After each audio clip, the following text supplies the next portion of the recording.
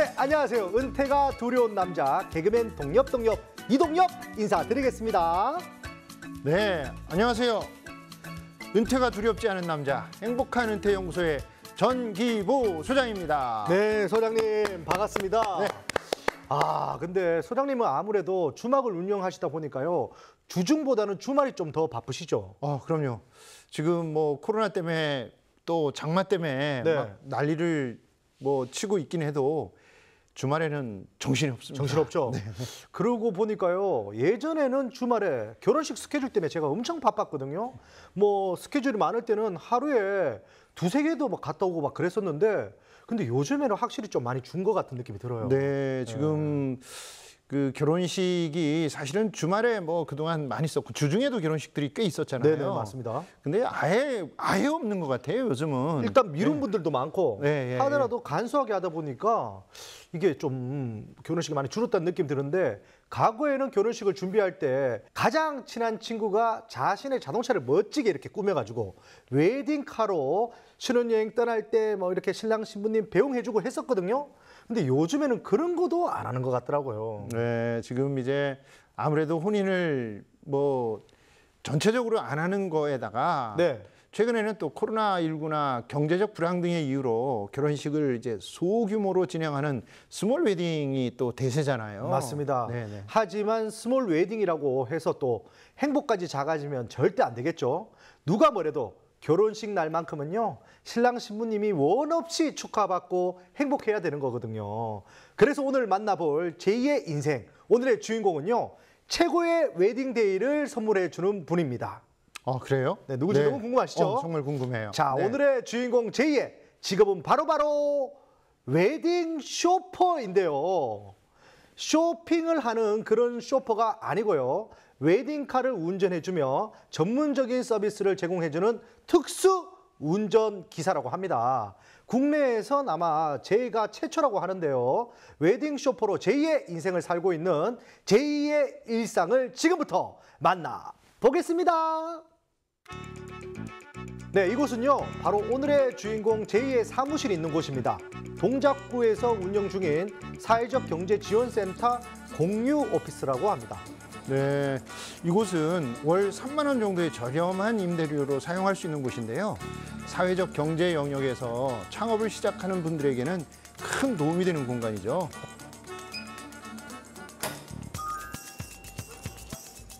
안녕하세요. 어, 안녕하세요.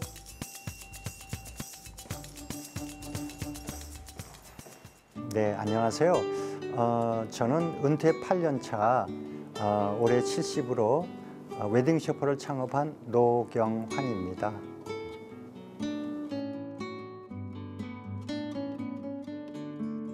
저 chauffeur는 어, 유럽의 상류 사회에서 어, 그 귀빈들을 모시는 드라, 이거 마차의 마부에서 비롯되었는데요. 어, wedding chauffeur는 어, 결혼식 드라이버로서 결혼식 이동 서비스를 제공하는 품, 고품격의 드라이버를 wedding chauffeur라고 합니다.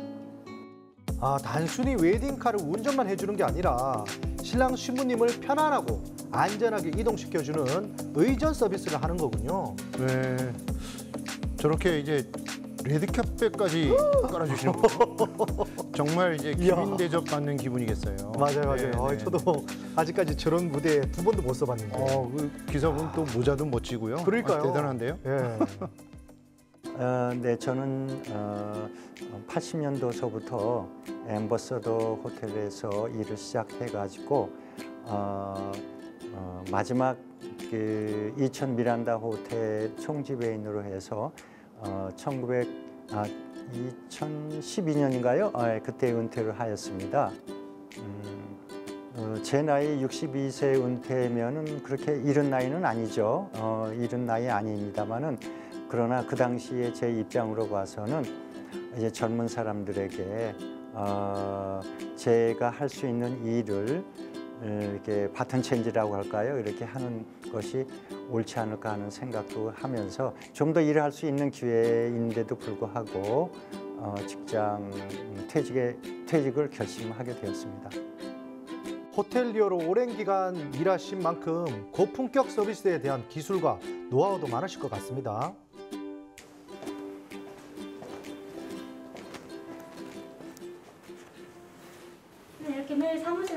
출근하시는 거예요? 어 그럼요 매일 출근하죠. 아, 사무실에서는 주로 어떤 업무 보세요? 아 주로 고객들에게 reply 업무하고요. 그 다음에 chauffeur 배정 등 어, 업무 링크하는 일을 사무실에서 많이 하게 됩니다. 그러니까 일이라는 것은 어, 곧 저 다른 사람은 어떻게 생각할지 모르겠습니다만 저 같은 경우에는 일이 없으면 죽은 삶이나 마찬가지다 이런 생각을 들었고요. 그래서 일과 삶을 아, 같이 영위할 수 있다고 하면 최고의 어, 삶이 아닐까 이런 생각을 가지고 일을 찾기 시작했죠. 어, 근데 처음에 어, 일을 찾는 데 있어서 이력서를 많이 써봤는데 또 많이 제출을 해봤습니다. 그리고 어, 제가 전문으로 하고 있는 호텔 경영 또는 그것이 안 되면은 허다못해 어, 빌딩 관리할 수 있는 어, 그런 관리인에게도 도전을 해봤는데요. 어, 나이 장벽으로 인해서 제 저를 받아주는 것은 없었습니다. 그래서 결국에는 아, 제가 자유롭게 저의 저만의 어, 어떤 그 일을 직업을 만들면은 되지 않겠느냐 하는 고민을 하기 시작하였죠. 그럼 보통 스케줄이 어떻게 되세요? 저 스케줄이요. 어, 스케줄 좀 많이 복잡해 가지고요. 사실은 핸드폰에다가 카렌다를 활용해서 스케줄 관리를 할 수밖에 없습니다. 그래서 이렇게 저는 음, 이렇게 핸드폰에다 이렇게 스케줄 관리를 하고 있습니다. 네. 저렇게 예약이 다 차 있는 거예요? 네, 예약이 지금 매주 주말마다 되어 있는데요. 어, 8월 달 같은 경우에는 좀 예약이 없는 편입니다. 왜냐고요? 음, 8월은 비수기잖아요. 그 작년 같은 경우에도 8월에 예약이 많지는 않았습니다만 올해는 코로나로 인해서 더더욱 안 좋은 상황입니다. 아, 그래도 결혼 성수기에는 예약을 잡기 힘들 만큼 예약이 많다고 하네요. 어, 새로운 사업에 고민을 하고 있을 때 마침 아들이 결혼이 있었습니다. 그래서 아들 결혼식에 어, 아들이 어, 새벽부터 자동차를 가지고 나가는 것을 보고 좀 의아해했죠. 어, 왜 자동차를 가지고 나가 결혼하는 주인공이 어, 도와주는 사람이 없나? 예전에 저희 같은 경우는 친구들이 많이 도와줬는데요. 어, 그래서 의아해했고 나중에 결혼식이 끝난 다음에 물어봤죠. 그때 옛날 문화하고 지금 문화하고 틀려진 걸 그때 발견을 하고요. 아, 그거를 우리가 하면 어떨까? 은퇴한 시니어들이 하면 어떨까 하는 어, 착안을 하게 되었습니다. 그리고 어, 시- 어, 우리 아들과 며느리에게 의사 그, 이런 것을 우리가 하면 어떨까 하고 물어보니까 어, 쾌히 어, 즐거운 아, 뭐라 그럴까요? 좀 음, 반응이 어, 긍정적인 반응이 나와서 제가 힘을 받고 한번 시작해보자 하는 마음을 갖게 되었습니다. 네, 아들의 결혼이 창직의 아이디어를 주고 또 주인공에게 제2의 인생까지 열어줬네요. 어, 네. 그렇네요. 그런데 wedding chauffeur라는 게 아직은 낯선 서비스라서 홍보가 좀 많이 필요할 것 같습니다. 네. 저도 좀 chauffeur? 이게 뭐지? 쇼파인가? 이런 생각이 있었거든요. 네. 어, 창업 과정에서 저 같은 경우에는 순조롭게 진행이 됐다고 생각하는데요. 그런데 어, 처음 출발은 어, 굉장히 어려웠습니다. 제가 세 번 도전, 세 번 다 낙방을 하고요. 그러니까 삼전 사기로 해서 네 번째 성공을 했거든요. 그러니까 출발은 그렇게 좋은 편은 아니었습니다만 일단 출발하고 난 다음부터는 좀 쉬웠습니다. 제가 창업 이후에 어, 정부 지원 사업과 민간 지원 사업 전부 다 공, 그 공모전에 어, 지원을 해서 선정이 돼 가지고요. 전체 한 5천만 원 정도의 지원 자금을 어, 받아서 오, 오늘의 성, 어, 웨딩 쇼퍼를 만드는 데서 결정적인 요인이 되었다고 생각합니다. 어, 네, 안녕하세요. 네. 어, 어, 지금 제가 그 우리 쇼퍼님한테 전화 드린 게 음, 이번 주 혹시 시간 되십니까? 아, 예약이 들어와서 지금 아, 웨딩 약속, chauffeur를 배정하고. 계시군요. wedding chauffeur라는 것이 과거에 있었던 것이 아니고 이번에 새롭게 만드는 그 없던 창업이다 보니까 많은 사람들이 모르잖아요. 그래서 제가 처음 출발할 적에 어, wedding chauffeur, 그러니까 드라이버 모집에서 굉장히 어려웠습니다. 어, 그 다음에 두 번째는 어, 시장에 접근을 할 적에 어, 우리의 소비자, 그러니까 우리를 이용해줄 신랑 신부가 아, 그게 뭐예요 하고 이렇게 되물었을 적에는 빨리 이해가 되도록 예, 설명을 해야 되는데 여러 가지 면에서 부족했습니다. 그래서 그 두 가지가 제일 어, 애로사항이 되었었죠. 주인공의 꾸준한 노력 끝에 창업 첫 해 두 달간 13커플을 에스코트했고요. 다음 해에는 103커플, 그 다음 해인 2019년부터는요. 무려 202 커플이 제2의 웨딩 쇼퍼 서비스를 선택했다고 합니다. 와 정말 뭐 대단한 성장세인데요. 이게 지금 보면요. 이게 성장세가 너무 가파르게 올라가고 네, 있어요. 네, 뭐 아직 다음 해쯤에는 뭐천 커플, 만 그렇게 커플 돼야죠. 이렇게 돼야 되는 거 네, 아닙니까? 네, 네. 근데 주인공 제이는요 공모전에 도전해서 지원금을 받는데 성공하셨다고 아까 들었는데요. 창업 자금이 부족할 경우 이런 지원 사업들을 찾아보면 큰 도움이 될 것 같습니다. 네, 뭐 주인공의 경우에 본인도 이제 시니어 창업자이면서 또 시니어 일자리를 창출해내는 그런 사회적 기업을 구상하신 거잖아요. 음, 맞아요. 이런 사업 아이디어를 발전시켜 가지고 창업 공모전에 도전을 한 거예요. 아무리 아이디어가 좋다고 해도 이제 그 내용이 구체적이지 않고 현실적이지 않으면 어, 당선이 잘 되지 않아요. 아 그렇습니까? 네, 네.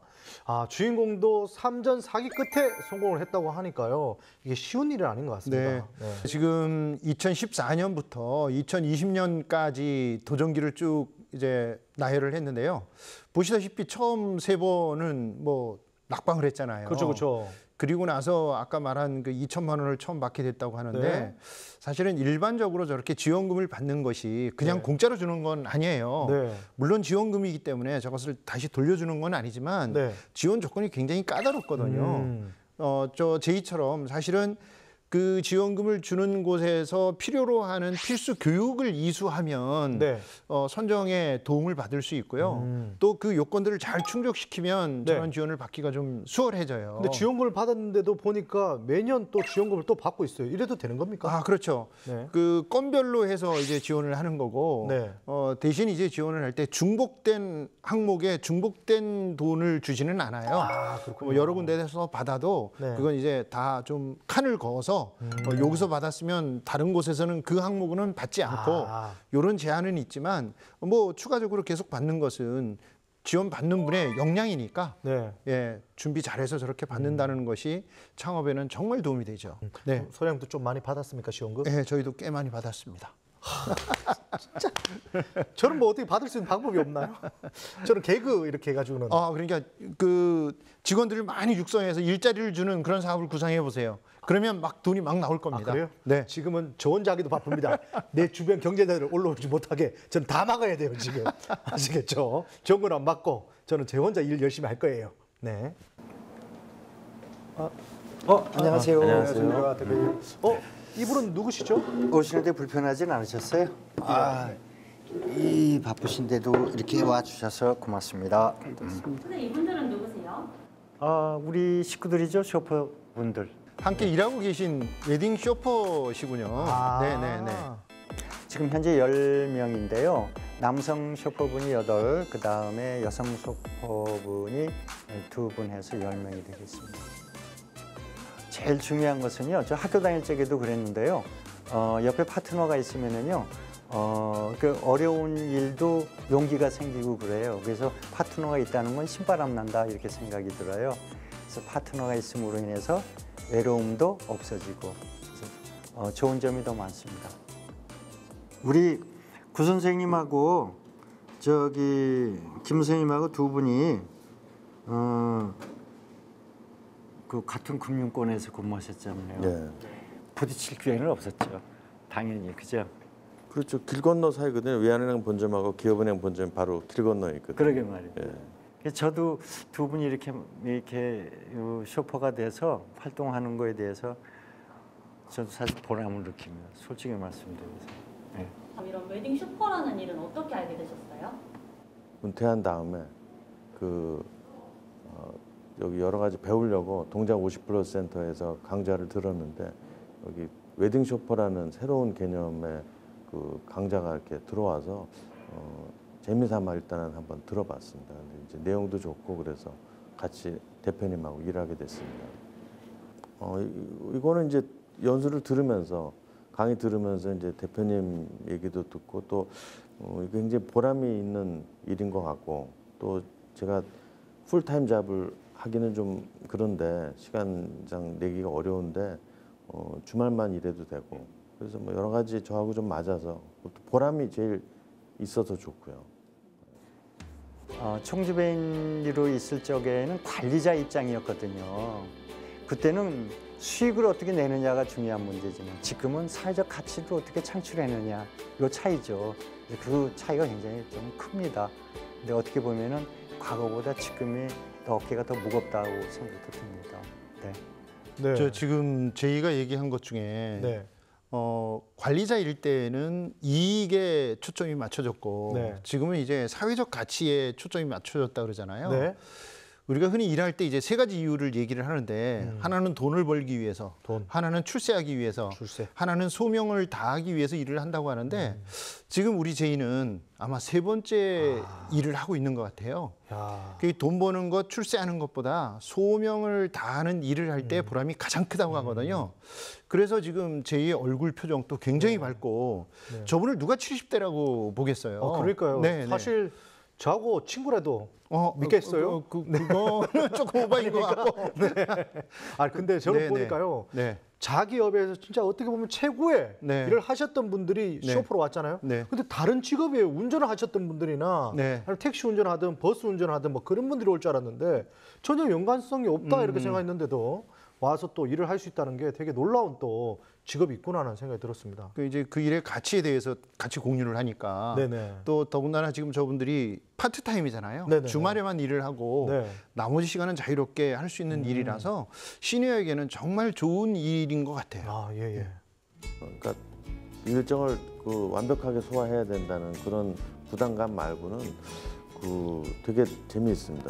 지금 최근에 그러니까 젊은이들은 어떻게 생각하고 있고 제가 옛날에 뭐 결혼했을 때하고 좀 분위기가 달라졌기 때문에 뭐 그런 것들을 이렇게 볼 수 있고 어, 그런 또 그 신혼신 어, 신랑 신부들이 또 고충이나 이런 거를 또 이렇게 알 수 있어서 또 좋았습니다.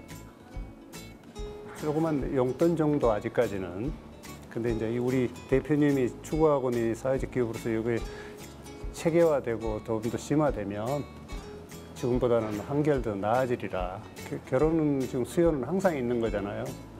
그래서 제가 그 해보니까 너무 편하다 그 의- 의견을 물어보니까 다 그 신랑 신부들도 다른 사람들한테도 권하고 싶다 다 이런 의견이 거의 100% 나옵니다. 제가 여쭤보면은요. 그래서 앞으로 전망은 매우 좋기 때문에 덩달아서 우리도 처우도 개선될 거라고 믿습니다. 지금은 건수가 사실 그렇게 생각만큼 그렇게 많다고 보기는 좀 어려운 입장이거든요. 네. 어, 지금까지 창업 이후 현재까지 그러니까 6월까지요 9,300인데요. 9,300 이렇게 들어볼 적에는 별거 아니라고 생각할지 모르겠지만 저희로서는 큰 게 왜 그러냐면 1년 해봐야 52주예요.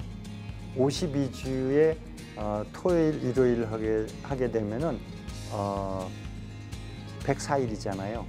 그런데 104일 중에 어, 결혼식은 토요일이 75%에서 80%입니다. 그리고 일요일은 15% 20%밖에 안 돼요. 그러면은 저희가 일할 수 있는 것은 주로 토요일이라고 보죠. 그러면 토요일만 가지고 일했을 때 9,300 했으면 많은 거죠. 그리고 저희가 어, 금년도 목표 9,500입니다. 근데 못할 것 같습니다. 아, 코로나 때문에 어, 음, 좀 어려울 것 같습니다. 근데 이게 아쉬워할 게 없는 게 어떤 것들은 그해 안 하면 없어지지만 결혼하려고 마음먹은 사람은 조금 연, 연기는 되겠지만 어쨌든 하는 거잖아요. 그럼 나중에 물량이 밀리지 않을까라는 생각이 들어서 예, 후반기에 아마 어마어마한 매출이 올라올 거라는 생각이 듭니다. 어, 저는 에, 철저한 에, 현장 원칙, 현장 심리, 현장에서 요구하는 서비스 이것을 체험을 통해서 얻어냈다는 것입니다. 그리고 체험을 통해서 얻어낸 것을 우리 쇼퍼에게 서비스 매뉴얼을 만들어서 제공할 수 있었던 것. 그래서 하나의 서비스로 어, 이 우리 소비자에게 전달이 되었다는 것. 이것이 성공의 노하우가 아닌가 생각합니다. 네, 추천을 어, 해주고 싶은데 어, 이거는 좀 요건이 있어야 될 것 같다고 생각이 됩니다. 우선 첫 번째는 책임감이 제일 중요하고 그다음에 서비스 마인드가 있어야 된다고 생각합니다. 그래서 그게 가장 중요하기 때문에 일반적으로 예를 들어서 그냥 차를 운전해주는 그런 개념이 아니고 어, 진짜 충분한 서비스가 돼야 된다. 그리고 충분한 만족감을 줘야 된다는 그런 사명감이 있어야 된다고 생각합니다. 네, 웨딩 쇼퍼가 되기 위한 첫 번째 요건이 완벽한 운전 실력이 아니라 바로 책임감과 서비스 마인드였네요. 그렇죠. 저 주인공이 이제 쇼퍼라는 개념을 사업에 접목시킨 이유도 아마 그런 직업 정신을 담고 싶었기 때문일 것 같아요. 맞습니다. 단순 운전만 대신하는 일이라면 그냥 대리운전 기사님을 모시는 게 나을 것 같아요. 네. 어, 저희 목표는 사회적 기업으로의 인정입니다. 아, 그리고 목표 어, 사회적 목적을 달성하는 것 하나 하고요. 그 다음에 아, 결혼 준비 신랑 신부의 체크리스트 마지막 목록에 웨딩 쇼퍼가 자리 잡기를 바라는 것입니다. 저희가 그 사회적 목적을 달성하는 것 외에 또 하나 계획이 있습니다. 그건 뭐냐면 우리 사회 소외계층에 있는 사람들의 결혼식에 저희들이 재능 기부를 하였으면 합니다. 그래서 웨딩카하고 어, 웨딩 쇼퍼가 재능 기부를 해서 결혼식을 훌륭히 치를 수 있게끔 이동 서비스를 일정 부분은 우리가 아, 재능 기부를 하겠다. 요것을 앞으로의 계획으로 잡고 있습니다. 네. 야, 품격 있는 서비스로 스스로 품격 있는 제2의 인생을 만들어 가고 있는 제2 웨딩 쇼퍼 노경환 씨의 이야기를 만나봤습니다. 그 어떤 청년보다 눈빛이 살아있는 70대 주인공의 모습이 큰 감명을 줬는데요. 소장님께서는 어떻게 보셨어요? 네, 앞에도 뭐 잠깐 얘기를 했지만 그 소명이라는 말을 정말 잘 실현하는 게 아닌가. 네. 어, 뭐 이 사업을 사회적 기업으로 만들어서 일자리를 많이 주는 것도 있지만 네. 사회적 약자를 위한 결혼 서비스도 제공하겠다라고 하는 그런 소명까지 말씀하시는 걸 보니까 네. 정말 이 직업에 대해서 분명한 철학을 가지고 계신 분인 것 같아요. 음. 더군다나 이제 뭐 풀타임이 아닌 주말을 이용해서 할 수 있는 일이기 때문에 어 뭐 저기에 쇼퍼로 지원하는 사람들도 큰 부담 없이 그렇죠, 그렇죠. 재밌게 할 수 있는 일이라는 생각이 들어요. 네, 특히 요즘 또 신랑 신부님은요 비용 절감을 위해서 발품보다는 손품을 파는 경우가 많거든요. 직접 샵을 다니기보다는 온라인으로 가격을 비교한 다음 원하는 서비스를 직접 계약하더라고요. 네. 그런 면에서 이 온라인하고 오프라인을 잇는 이제 O2O 서비스에 주목할 필요가 있죠. 저희도 이제 플랫폼을 만들어서 소비자의 예약을 온라인으로 받고 또 오프라인에 chauffeur를 배정하는 형식으로 비즈니스를 이어가고 있는데요. 이제는 모든 사업이 이 O2O 서비스를 접목해야만 살아남을 수 있는 그런 시대예요. 과학기술정보통신부 시장 동향 조사에 따르면 이 O2O 서비스를 제공하는 기업이 전국에 약 550개 정도가 있다고 합니다. 이 중 이제 생활 서비스 분야의 기업 수가 179개로 이제 가장 많고요. 다음으로 모빌리티, 물류, 그 다음은 이제 인력 중개, 숙박, 레저, 식품, 음식, 또 부동산 순으로 정해져 있다 그래요. 그래서 제2의 웨딩 쇼퍼 사업의 경우에 서비스와 인력 중개가 결합된 그런 사업이라고 볼 수 있는 거죠. 그러고 보니까요, 저도 O2O 서비스를 굉장히 많이 이용하고 있었네요. 네. 또 여행 갈 때에도 어플로 숙소를 예약하고요. 음식 배달도 어플을 통해서 주문하고요. 언택트 시대라고 하잖아요. 이제 앞으로 관련 시장이 점점 더 커질 수밖에 없겠다는 생각이 듭니다. 네, 그렇습니다. 실제 이 O2O 서비스 산업은 굉장히 빠른 속도로 성장하고 있는데요. 2019년 O2O 서비스 기업 매출액이 약 이제 2조 9천억 정도 되는데요.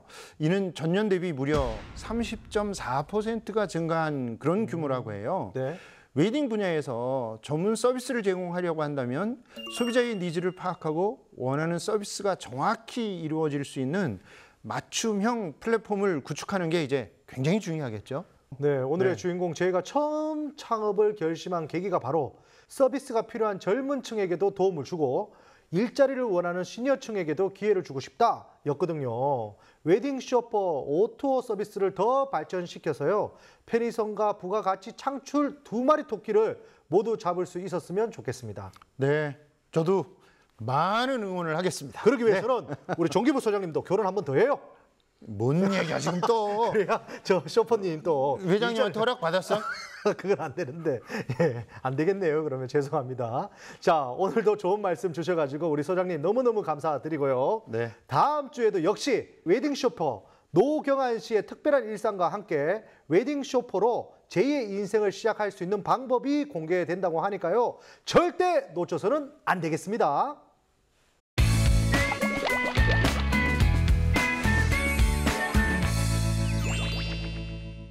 은퇴 후에도 행복한 삶을 위해 도전하는 이 세상 모든 제의를 응원합니다. 제2의 인생 주인공은 바로 여러분입니다. 다음 시간까지 여러분 어디 가시면 안 돼요. 안녕. 안녕. 아, 오늘 특별한 약속이 있어서요. 음, 옷을 꼭 피- 입어야 할 필요성이 있어서 챙기고 있습니다.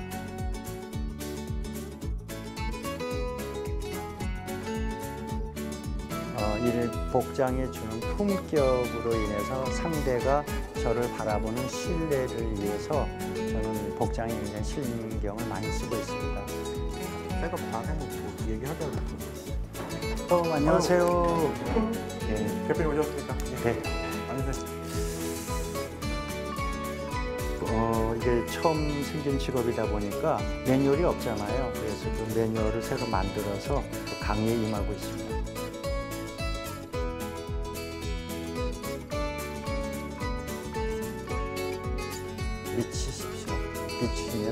안에 답이 나옵니다. 열정을 가지고 도전해 보시기를 항상 어, 저는 어, 말씀드리고 싶습니다.